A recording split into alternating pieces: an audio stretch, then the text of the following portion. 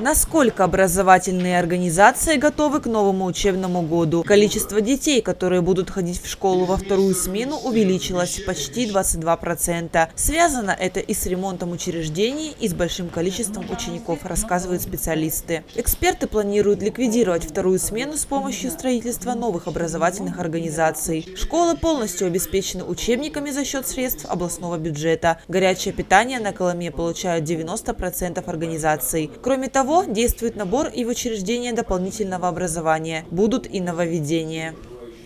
Что нового предусмотрено в этом году в части доп. образования? Это создание регионального модельного центра на базе Института развития образования, который будет заниматься персонифицированным учетом всех детей, которые находятся и посещают учреждения доп. образования.